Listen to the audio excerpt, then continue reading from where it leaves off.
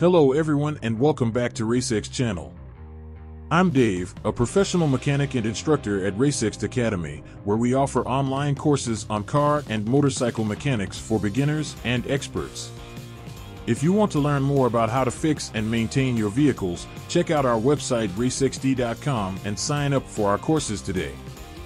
In this video, I'm going to answer a question that some of you may have. Is it okay to change front brake pads only? Brake pads are essential components of your braking system as they create friction with the brake discs to slow down and stop your vehicle.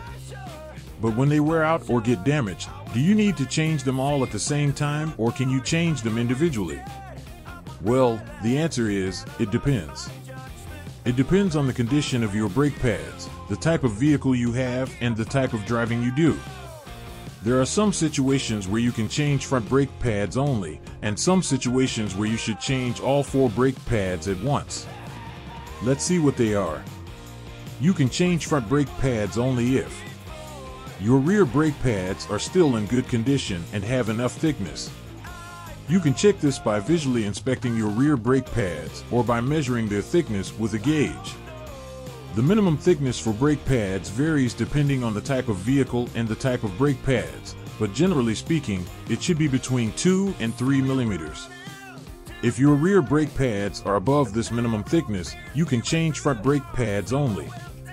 Your vehicle does not have an anti-lock braking system, ABS, or an electronic stability control, ESC, system. These systems rely on sensors that monitor the speed and rotation of each wheel.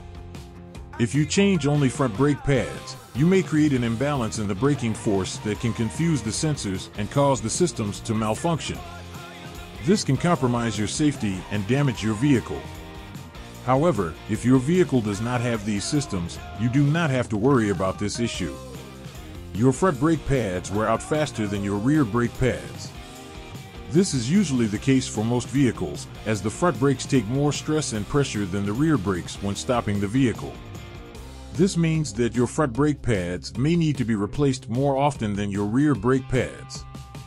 However, you still have to check your rear brake pads regularly and replace them when they are worn out or damaged. You should change all four brake pads at once if your rear brake pads are worn out or damaged beyond a certain point. If your rear brake pads are too thin or too damaged, they may not be able to create enough friction and pressure to stop your vehicle effectively. This can increase your stopping distance and reduce your braking power. Also, if your rear brake pads are worn out or damaged unevenly, they may cause noise, vibration, or pulsation on your brake pedal or steering wheel. This can also compromise your safety and damage your vehicle. Your vehicle has an ABS or an ESC system. If your vehicle has these systems, you should change all four brake pads at once to avoid confusing the sensors or causing malfunctions. These systems are designed to improve your safety and stability by preventing wheel lockup or skidding when braking hard or on slippery surfaces. However, if you change only front brake pads, you may create an imbalance in the braking force that can interfere with these systems and make them less effective or even dangerous. Your brake pads are made of different materials or brands. If you change only front brake pads with different materials or brands than the ones you already have, you may create an imbalance in the braking performance and quality that can affect your safety and comfort. For example, if you mix ceramic and semi-metallic brake pads, you may experience different levels of noise, dust, and wear. Also, if you mix different brands of brake pads, you may experience different levels of quality and reliability. So, as you can see, there is no definitive answer to whether you can change front brake pads only or not. It depends on the situation and the factors I mentioned before. However, there are some general tips that can help you decide when to change your brake pads.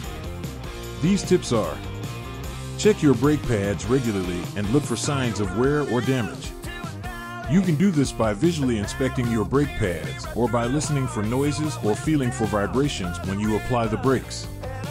You can also check your dashboard warning lights and indicators as they may alert you if your brake pads are low or if there is a problem with your braking system.